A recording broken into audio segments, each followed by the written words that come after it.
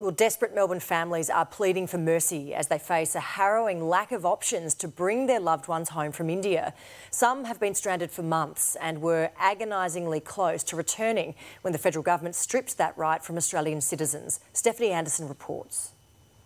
For more than 12 months, Febin Arapatu's family have just been faces on a screen, trapped in India, now indefinitely. Heartbreaking because uh, I don't know what to say to my uh, seven year old daughter. When his mother died in March 2020, Febin flew his family back to their hometown. He then returned to Australia after a short stay, but the border closed before his wife and daughter could follow days later.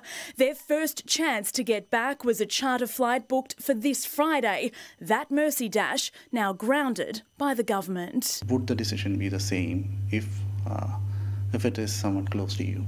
Was a question. Norshin Khatoon is facing the same nightmare, stuck in the subcontinent after rushing to be by her dying father's side. Her family in Melbourne anxious to get mum home. I fear that if I fall sick now, I won't be able to reach a doctor. Some countries are helping to evacuate or at least leaving the borders open to their citizens. So the threat of five years jail from our Commonwealth if Australians return via another country is hard to comprehend. Everything contradicted my statement of explaining how great my country, Australia, is. The federal government says in the month leading up to its border decision, 57% of positive cases in quarantine were arrivals from India. And while it's adamant these measures are temporary. There's no promise they'll change when more room frees up in the system in the next fortnight. Once the 15th of May review occurs, we will then plan what the resumption of those flights looks like, and if we are able to, we will increase them. That's cold comfort for families like Febins, who are now isolating under the same roof as a COVID positive loved one.